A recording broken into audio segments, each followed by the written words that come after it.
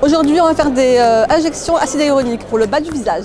J'ai vu des annonces, donc je me suis inscrite. Via Facebook, j'ai vu qu'il y avait des ateliers euh, disponibles sur Paris. J'ai été retenue suite à un questionnaire, à un échange téléphonique. J'ai tenté ma chance et j'ai été appelée. J'ai reçu un mail spécifiant euh, la date, l'heure, quel médecin, quel produit, quel laboratoire. Qu'est-ce qu'on se dit à ce moment-là? Non, mais écoutez, pourquoi pas tenter l'aventure, essayer d'être modèle pour, pour, des injections acide hyaluronique ou Botox. Donc, c'est quelque chose que j'ai déjà fait, donc il n'y a pas de souci. Je sais que c'est des médecins professionnels, c'est juste des, modèles qui recherchent. L'équipe Stick Model, super accueillante, euh, souriante, euh, à l'écoute. Elles sont là pour répondre à nos questions, nous rassurer.